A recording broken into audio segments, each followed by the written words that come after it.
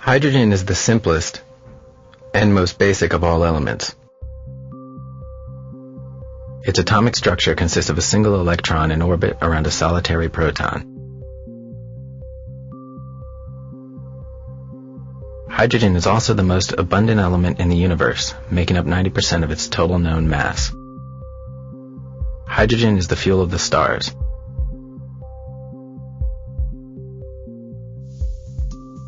Hydrogen is in the food we eat,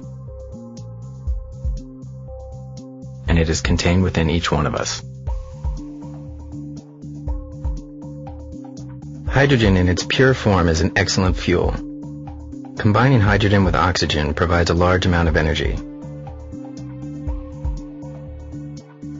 Aside from the energy released, the only other byproduct of this reaction is water. As a primary component of water, hydrogen exists everywhere around us in a seemingly endless supply. Because of its abundance and value as a fuel, there has been a lot of discussion in recent years about the impending transition to a hydrogen economy. An economy where the main source of energy would be hydrogen.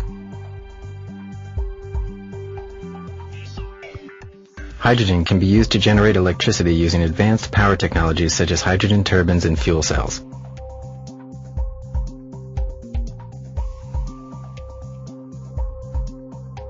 Hydrogen also offers a great deal of promise as an ultra-clean fuel for cars and other forms of transportation.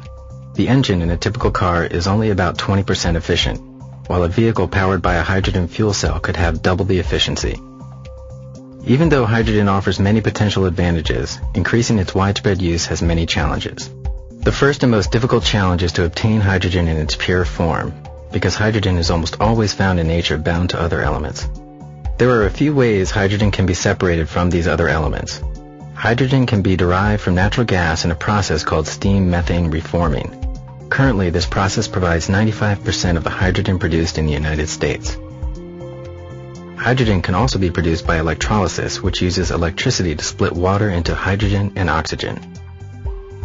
This process, however, is currently very inefficient and expensive. One of the most promising and economical ways to produce hydrogen is by using coal. In a process called gasification, coal is converted into a gas and then combined with water in the form of steam. This produces a hydrogen and carbon dioxide mixture. The hydrogen is then separated from the CO2, and the CO2 can be permanently stored using various methods of carbon sequestration. Once hydrogen has been obtained, it exists as a very light gas. Although only one-third of a pound of hydrogen is needed to provide the same amount of energy as one pound of gasoline, the volume of the hydrogen is much larger. The low density of hydrogen at standard temperature and pressure requires that it be compressed into a high pressure gas or chilled into a liquid.